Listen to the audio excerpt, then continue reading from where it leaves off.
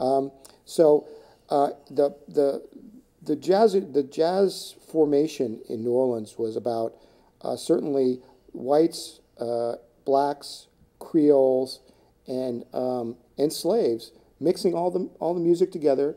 They're they're put together in, in the in the city of New Orleans, and um, you know classical, um, uh, pure improvisation, um, you know marching band, African rhythms. All these things are coming together, and they're coming together because white musicians are uh, collaborating with Creole musicians who are collaborating with black musicians, and they're all playing together. If there's an issue where they can't play at a, a club because some person is black or white, sometimes those musicians are just passing as white or passing as black to play.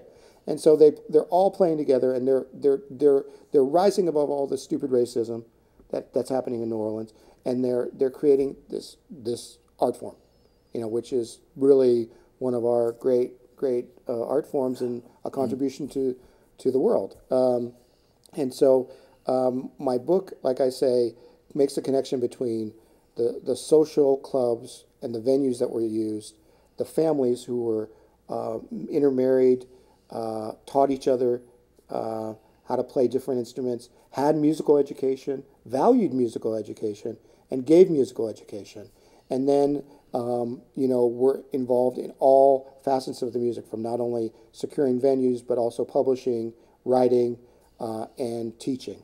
So um, out of that, you know, comes the jazz that we know in the uh, uh, 20s and 30s when these jazz musicians started to move out into Chicago, St. Louis, New York, and, uh, you know, we have Louis Armstrong, uh, Armand Piron playing at the Cotton Club, and wow. that's that's that's where everybody starts to pick it up. And of course, we have Jimmy Durante, who's coming out of New Orleans, who's played with all these guys, uh, the Paquette brothers, and uh, he's he he's seen he's seen all the Louis Armstrongs, and so he's influenced by that. And like I say, he, uh, you know, I remember his uh, his variety show, him singing, but I don't ever remember him playing the piano on the variety show, mm. and he was a fantastic pianist. So um, people loved the the way he sang.